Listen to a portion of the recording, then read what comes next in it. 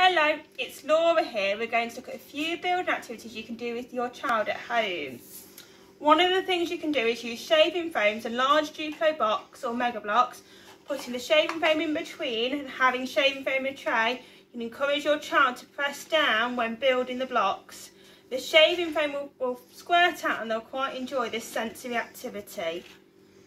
Another activity you could do is shred some, is make some shredded paper and hide 3D blocks in the in the tray for your child to get out.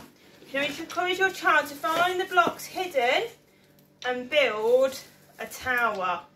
The last activity you can do is with empty cardboard boxes or any packaging at home is encourage your child to build a tower, counting as they do it. And as it gets and when you've run out of boxes, you and your child can use a very steady, go to push them over. I hope this gives you a few ideas of what you can do with your child building at home.